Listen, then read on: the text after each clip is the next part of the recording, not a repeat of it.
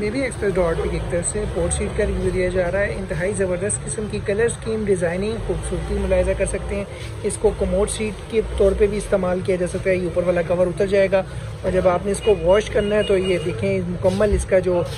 box है वो बाहर आ जाएगा और आप इसको जो है वॉश कर सकते हैं